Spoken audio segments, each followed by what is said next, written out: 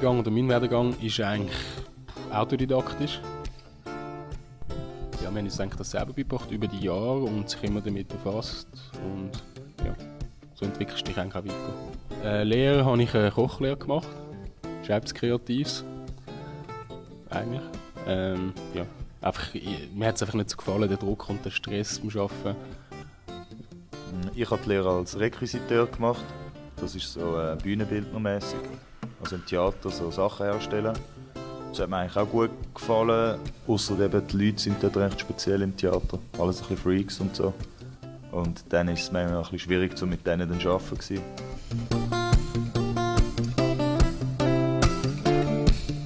Also ich denke, die Arbeit als Requisiteur, die ich gemacht habe, hat mir sicher viel geholfen, auch im kreativen Bereich und mit vielen verschiedenen Materialien zu arbeiten, also auch basteln und so.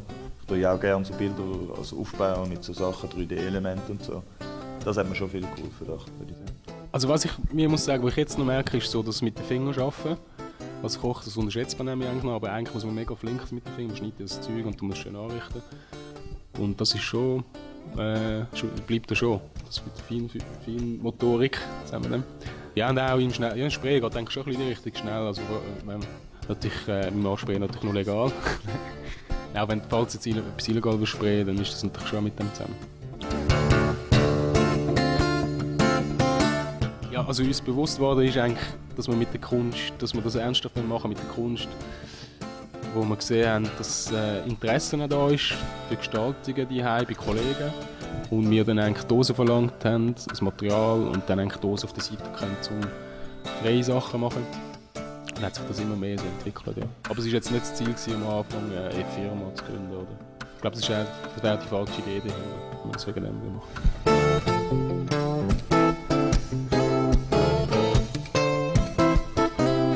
Ja, wir arbeiten ja relativ viel zusammen. Und ähm, schwierig ist dann eigentlich immer, dass wir uns zusammen finden. Weil wir haben ja verschiedene Stile. Also langsam können wir es ja recht gut, weil wir uns schon mega lange kennen und schon mega lange zusammen arbeiten. Es gibt dann trotzdem immer so ein bisschen Differenz, oder? So, er arbeitet jetzt eher grafisch und ich arbeite dann halt eher so mit Fäden, also so Übergänge und so Sachen. Und eben, dann gibt es dann manchmal schon ein bisschen, oder? ja, also einer muss sich immer am anderen ein bisschen anpassen. Aber das ist eigentlich immer so. Was jetzt bei uns noch gut ist, dass wir Brüder sind. Und durch das, ähm, ich weiß auch nicht, also ich kannst so dein Ego-Ding ein bisschen zurückstecken. Ich habe das Gefühl, wenn du Kollege oder Freunde bist, ist das noch ein bisschen mehr der Fall, weißt Das ist schon deine Idee und, äh, und so ein so. Und das ist auch finanziell jetzt bei uns auch einfacher. Ich tue eher Dosen und Pinsel und er ist eher Airbrush und auch Dosen, sicher und Pinsel. Und er ist eigentlich eher für die figürlichen Sachen, also alle Characters von Truth, alle Figuren, alle Wesen macht er eigentlich. Und ich mache eigentlich den, den Rest. Also, kann ich sagen, Background-Schlampe. nein, nein. Das ist nein, es ist, früher ist er ein mehr ich. Aber ähm, ja, nein, einfach grafische Sachen, Schriften. Also früher habe ich sehr viele Schriften gemacht, Typo. Jetzt ein bisschen mehr abstrakte Sachen. Es ist immer so ein bisschen nach Stimmung. Ähm, und wir haben natürlich noch ein paar andere Leute bei uns, die sind nicht Vollzeit, die äh, sind auch für grosse Projekte. Da hat es jemanden, der spezialisiert ist auf realistische Sachen. Ähm, einer macht auch nur Schriften, so Am Anfang waren wir mal 15 Leute. Gewesen. Und das war aber vor 10 Jahren. Gewesen. Und es ist dann wirklich weißt, eine Sprayer-Community, die sich zusammentut und zusammen malt. Und dann irgendwann hat sich das so ein bisschen getrennt zu die, die sich wo ich etwas aufbauen die, die weniger. Und dann hat sich das so entwickelt. Und die meisten, also die anderen arbeiten bei einem eigenes Geschäft. Webdesign, der eine studiert in München.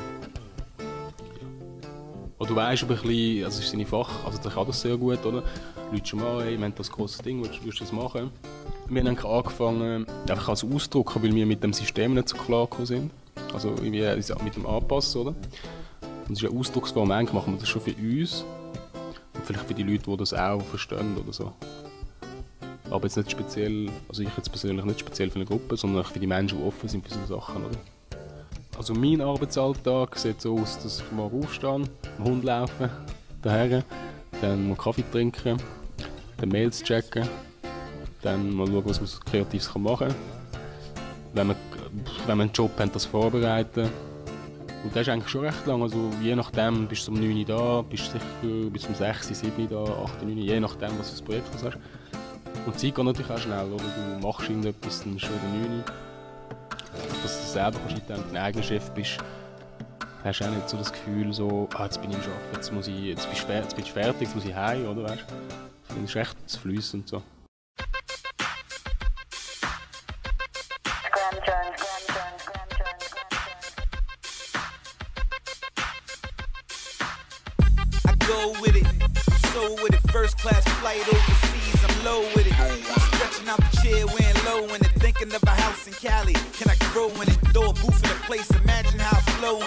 Also Aufträge kommen mir, das ist immer recht verschieden. Also viel durch Referenzen für unsere Internetseite sicher.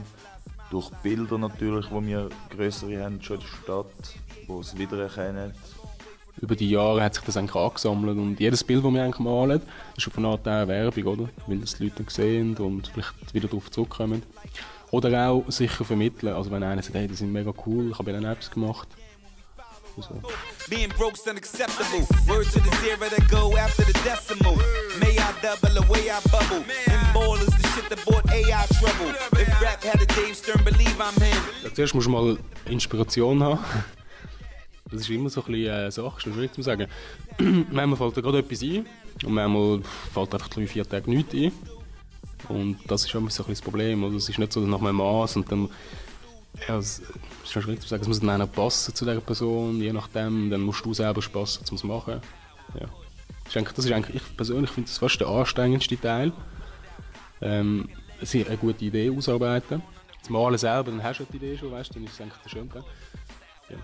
Und es ist eigentlich so, dass es entsteht bei einer Skizze, nachher tun wir es miteinander besprechen, dann bringt der andere eine Idee dazu und dann gibt es aus dem dann meistens ein Ende. Mich inspiriert, ja, das ist schwierig zu sagen, es ist eigentlich recht, also das ich mache eher so ein emotionales Ding. Oder einfach Sachen, die du siehst. Ich male eigentlich jetzt weniger figürlich, es ist eigentlich eher er, der figürlich malt. Ähm, ja, der Alltag. Viel vom Graffiti halt, von, von früher noch ganz viele verschiedene Sachen. Eigentlich. Ja, bei mich inspirieren sind auch verschiedene Sachen. So Alltag, Alltagssituationen, dann äh, halt auch viel irgendwie Sachen, die aktuell sind oder so, wo man so ansprechen probiert irgendwie, aber so, dass man es nicht gerade sieht, so in einer zweideutigen Form. Und ja, halt auch viel, ich glaube, von Fernsehen, Musikvideos bis... Also sicher die Gesellschaft von uns. Also das, wir sind ja dann das schon ein bisschen integrieren, aber von Art machen wir das auch, weil wir Freigeist sind und nicht gerne Leute haben, die uns sagen, dass wir das machen, oder? Und darum machen wir das eigentlich auch. Äh, auch wenn jetzt Leute vielleicht sagen, äh, wir sind nicht politisch oder so, aber eigentlich mit dem, was wir machen, nur schon mit dem Leben, das wir führen, habe ich das Gefühl, ist schon recht Statement. So. Also inspirierend finde ich auch noch, wenn wir machen ja eben zum Teil Jobs, äh, wenn du freie Sachen kannst machen Also bei den Jobs bist du natürlich auch frei, immer mehr. Also die Leute kommen zu uns, weil sie etwas von uns wollen. Das kannst du natürlich auch, aber es ist immer ein bisschen so anpassen. Oder du machst es für jemanden und musst irgendwie dort vorbei, weißt und so. Und wenn du frei bist, gehst du irgendwo an eine Wand und wirklich frei und machst es. Das ist eine Inspiration, finde ich. Zum wieder, es ist so ein bisschen Freizeit vom Hobby, so ein. Da hast du wieder neue Ideen für neue Sachen. Oder? So. Du musst keinen Termin einhalten, du musst nicht irgendetwas mitsprechen, das kannst das machen, was du If anybody asks, I'm back with a brand new team. Got a brand new dream for the dreamers, wheelers, dealers, and anybody on the road who's making dough. They ask why I survived the game for so long. I'm a soldier, smart cause I'm old out, never been a loner. Paper folder, but I'm on a lonely road. Viel bist du im kreativen Prozess, das klingt so ein bisschen so. Aber ähm, du musst auch ein bisschen Abstand haben von dem, dass du das nicht ausfährst, oder? Oder dass du immer, dass du schätzen, was du machst. So. Und das ist bei allen, also egal was du machst, oder? Mein Ausgleich ist eigentlich ähm, mit dem Hund laufen, meine Freundin. Ähm, es gibt sehr viele Sachen im Leben. Also man muss halt ein bisschen offen sein und Sachen anschauen. Äh, zum Überblick, oder? Es gibt eigentlich jeden Tag viele Sachen draussen, die man sieht, die interessant sind und spannend. Also mein Ausgleich zu, ich kann auch nicht immer 24 Stunden malen. Ich tue dann ab und zu halt, eben, ich kann an den Hund gehen, viel mit dem Hund laufen oder ähm, Musik hören halt. Ich mache noch ein bisschen Musik nebenbei. Freundin habe ich momentan keine. Dann einfach, äh, was tue ich eben ab und zu mal als Gamen, eben laufen, mit Kollegen abmachen. Party gehe ich nicht mehr so viel. Ich finde, die Leinwand ist für mich irgendwie etwas, wo ich einfach gemerkt habe, ich muss eine neue Technik herausfinden.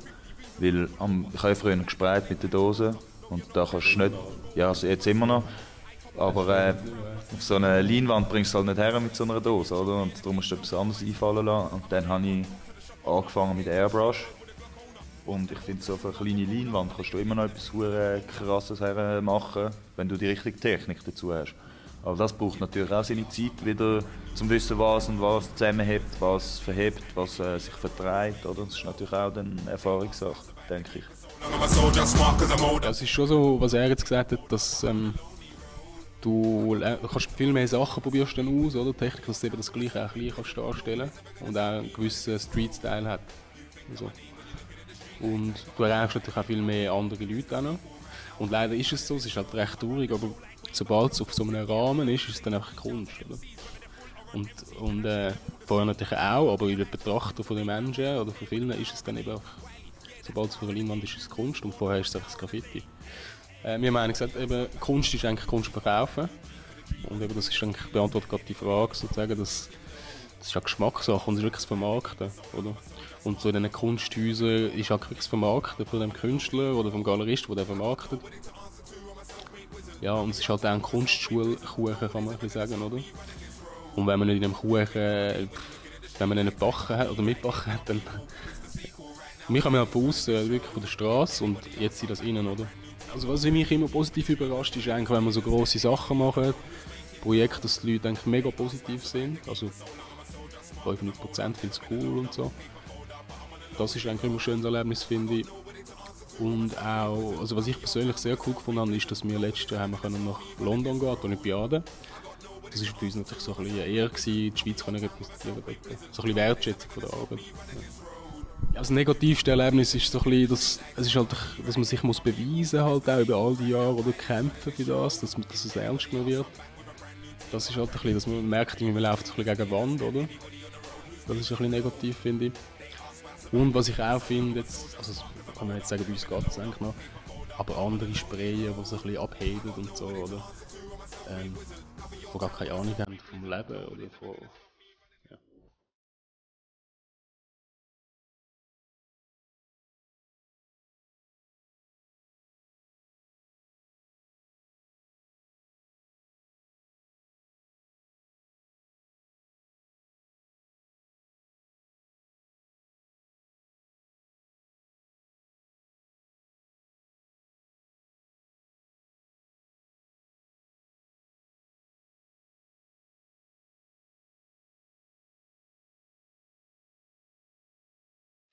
Ja, also ich, ich sehe die anderen Künstler, es gibt ja mega viel. Und es hat sich auch mega entwickelt, finde ich. Und es gibt mega gute Künstler, muss ich sagen. Aber es gibt halt auch mega viele selber da. In Zürich finde ich viele Künstler, die einfach keinen, sagen wir, soll ich sagen, Wiedererkennungswert haben, die einfach viel irgendwie äh, etwas machen, was schon viel da war, das Repetieren irgendwie. Das flasht mich dann nicht so. Aber eben, wie gesagt, es gibt mega viele, auch junge, talentierte Künstler, die sicher, sagen wir jetzt seit zehn Jahren, wenn die ein paar Künstler älter sind, sicher die werden dann kommen. Also wir haben sicher Respekt vor anderen Künstlern, das ist sicher so. Was wir einfach nicht so Respekt haben, also ich jetzt persönlich, ist eben das, was wir vorhin gesagt haben, wir kommen ja eigentlich von, vom Graffiti und jetzt machen wir eigentlich Leinwände und bei diesen Menschen ist es genau das Umgekehrte. So, dass die von der Schule kommen und jetzt auf die Straße gehen. Und das sieht man irgendwie einfach. Also das finde ich wie... Und dann äh, sind Street Art Künstler oder so und dabei haben sie noch nie irgendwo wirklich etwas bombt, oder weißt Und das ist halt ein bisschen so eine Welle, die im Moment kommt, wo auch der Film da von Banksy, ausgelöst hat, so das Bourgeois, Schablonenzeug. Und wir sind natürlich schon mehr, ähm, wir, sind nicht, wir machen, können schon an Computer arbeiten, aber wir machen viel von Hand, oder? Und bei diesem Bereich ist auch viel eben Grafikdesign, dann tust du etwas fotografieren, dann tust du es photoshoppen, dann tust du es ausschneiden lassen, plotten. Es ist cool, aber es wird viel zu überwertet, für das es erst finde. Ja, also nicht nur, ich meine, es gibt auch geile Sachen, aber ich finde einfach den Stil, was er gesagt hat, es wird kopiert, oder? Du kennst es nicht mehr, es ist so von dem Buch abgeschaut und die Ideen sind abgeschaut und ähm, ja, es wiederholt sich immer die ganze Zeit, habe ich das Gefühl. Und das hat auch nie die Chance, zum wirklich bekannt zu werden, weil das etwas ist, was nicht eigen ist. Oder? Die Leute kennen das schon und auch, das ist von dem. Und Vor allem wird das eben so sein, also wenn jetzt irgendeiner da in der Stadt Zürich eine Schablone sieht und denkt, das ist der Banksy. Also, blöd gesagt, oder einer, der nicht rauskommt, ah, schau, das ist doch das, ist doch das Gleiche. Das frage ich mich einfach, Es oder? ist eben auch das Gleiche. Also zum Teil Ja, schon, aber das, das meine ich eben mit der Wiederholung, oder? Es hat schon einen gegeben, der berühmt ist mit dem. Und das ist der, der most famous, würde ich sagen, oder? Und dann irgendwie, kannst du das nicht nochmal irgendwie tausendmal wiederholen. Das ist eben das, was ich vorhin schon kurz wollte sagen und zwar, es braucht natürlich viel mehr von Hand, ein Graffiti-Spray, das geil ist, wo sauber ist, wo ein gewisses Ding hat, braucht viel mehr an der Wand, als das Ausschneiden von der Schablone. Du bist natürlich schneller, aber die Skills, eben, das ist Computerskills. Und ja, es gibt natürlich auch solche, die das selber zeichnen und dann, Dings, das ist wieder etwas anderes, aber die meisten, das ist natürlich schon so, dann machst du ein gutes Foto, tust es belichten und dann machst du es dann äh, Schablone, oder? Und das ist halt immer recht so der grafische Stil.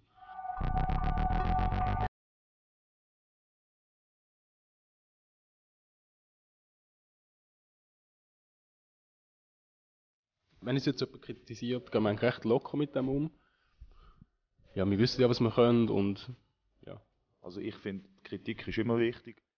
Und äh, ich finde jetzt zum Beispiel, wenn ich, also wenn jetzt jemand Kritik mir gibt, dann äh, gibt es mir mehr Power, um das noch besser zu machen und mehr Ansporn, um noch besser zu werden. Eigentlich. Also du kannst es eigentlich auch ins Positive umwandeln.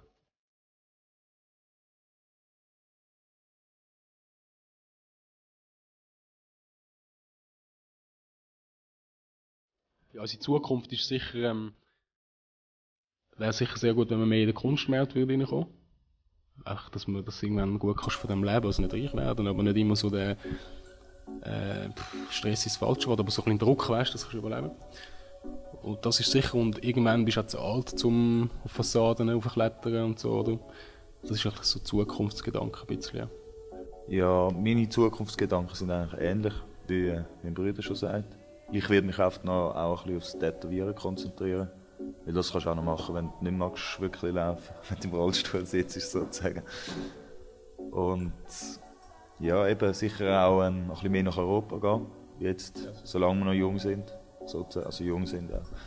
Wenn wir ein bisschen mehr nach Europa gehen und auch schauen, dass wir dort vielleicht können in einer Galerie sich ein paar ausstellen Wir haben ja noch selber einen Galerist, der uns auch ein bisschen unterstützt. Der ist auch ein bisschen am Schauen für das. Und Also, da könnte ein bisschen mehr gehen. Andreas, wenn du es gesehen ja, ja, das ist es eigentlich. Äh, bei uns kann man, wenn man Interesse hat, auch Bilder kaufen. Man kann da vorbeikommen, schauen, sehen, wie wir hier arbeiten, die neuesten Sachen anschauen.